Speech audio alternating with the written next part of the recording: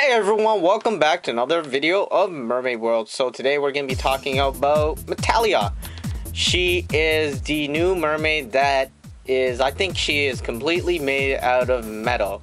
Reminds me of this superhero in, um, in Superman. Basically, uh, the shell was made out of metal and then uh, what's inside is a bulk of energy. Anyways, I think this mermaid is kind of made out of metal because I was watching her hair flex around.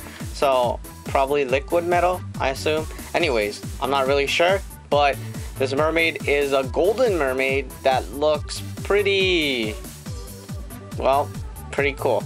Anyways, I have tested and confirmed the combination. What you need to use for this mermaid is is the Prism Princess mermaid and the Crustacea mermaid. Uh, the singing time should be 48 hours, which should say 47 hours if you glance at it quickly, and then 59 minutes and 59 seconds. But this mermaid is quite rare. Uh, usually I categorize the mermaids in rare, super rare, or ultra rare.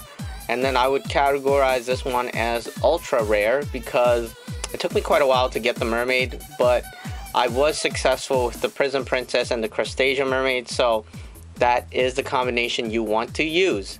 Now, if you want to try another combination, um, you could alternatively try combining just just looking at the traits, but I don't recommend that because most of the mermaids that have been released, like in the uh, recently, I think there's a there's a set combination, but I'm not confident about that. But so you should definitely uh, try around if you're not getting getting this mermaid using this combination. Anyways, that's about it.